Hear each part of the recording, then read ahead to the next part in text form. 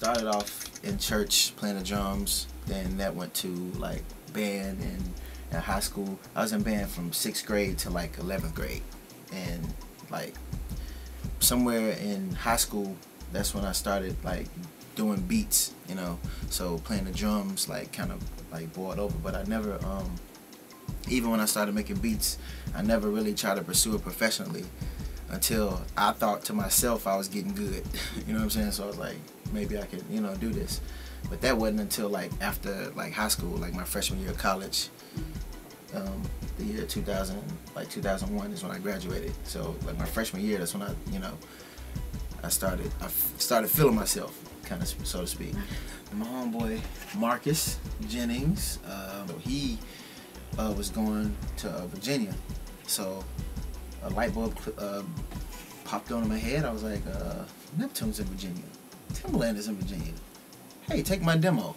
you know what I'm saying? So I know I had like, how many beats? I had like 60 some beats on a CD that he like consolidated to like 43 beats. I remember that number like specifically. It was like 43 beats on a CD. So um, I was in Memphis. He's in Virginia.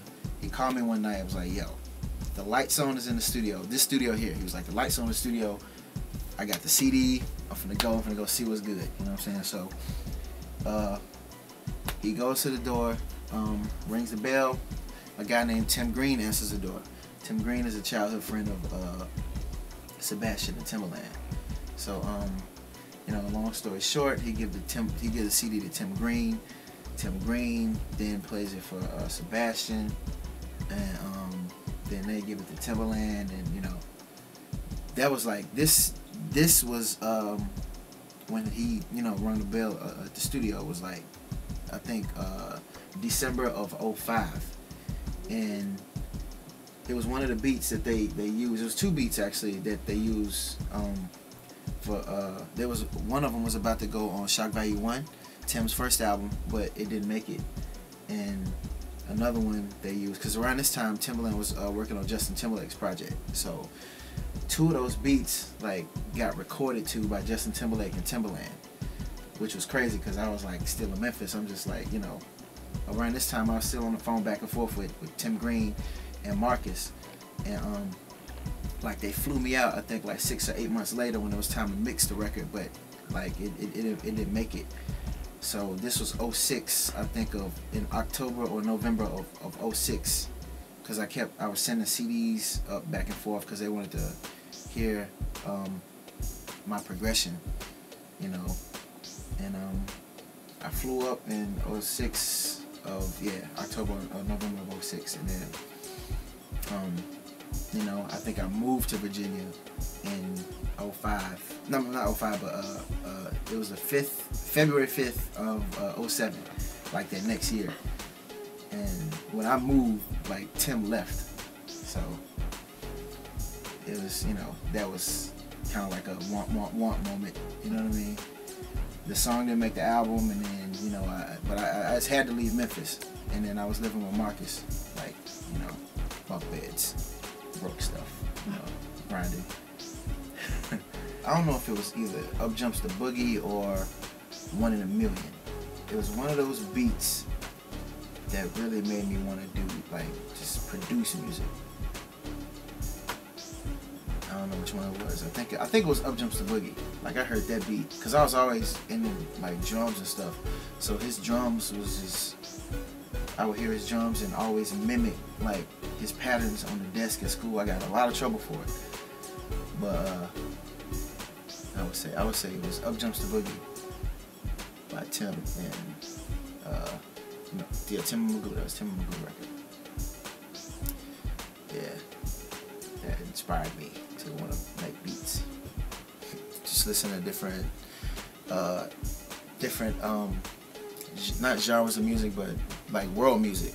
Like I like, you know, like I said, I'm a drummer, so I like listening to like weird sounds for some reason just listening to crazy sounds inspires me to like do beats because my sound is is very uh, innovative you know so when I hear like quirky sounds it, you know that inspires me to like make music or to like want to sample that and use it. Sebastian project, his album Cruel Intentions, is special to me because, like, um, I wanted to make that like a point where like Tim would hear what I was doing with his brother and you know and my music. Like I was I wanted him to hear that growth because I, I really feel like I really growed as a producer because it was just me and Sebastian here. Like I say nobody was here in the studio. It was just me and him and we was just um we was just working. So I just wanted to really like you know try to use his project to you know really get his attention. You know what I mean? So and I felt like I really grown musically from from his project, and you know it's a special project to me. I needed like me. I feel like I need I needed failure. You know what I mean? Like I needed to be told no, and like I feel like I needed to hear that so I can defy those those comments and those odds just to you know just break through the wall. I feel like I needed to hear that to a certain extent. Like when I was making beats, I used, I used to always feel like my competition was who I was inspired by. So, like I used to try to like go after the Neptunes, Dr. Dre, and Timbaland, and like right now I still carry that with me to this day. Like I still feel like like I'm trying to be on their level and be better than them, surpass them. I tell young producers all the time, like just don't worry about like getting on. I think I think that's like the biggest uh, problem with most of these producers because they start to sound like everybody else, so they compromise the sound because they're trying to like get on and make it. But if you really just like focus on your music and just don't worry about like getting on, because if you're good enough, you will be like somebody's gonna find you. You know what I mean? So just work on your music and just continue just to make beats and just make music. You know what I mean? And you'll get good enough to like by the time, like when it's your time, like, you know, your music will be dope and then you'll stand out. Because the more music you make, you know, you start to begin to like create your own sound and stuff like that. So that's what I tell them all the time. Like, just make sure you just, just do it for the love. Like, don't worry about the money because the money and all that stuff is gonna come. That's what Tim tell me all the time. Like, well, if, when I first came, he used to always say like, don't, don't worry about the money because the money's gonna come. Just focus on your music because that's the most important, like your craft.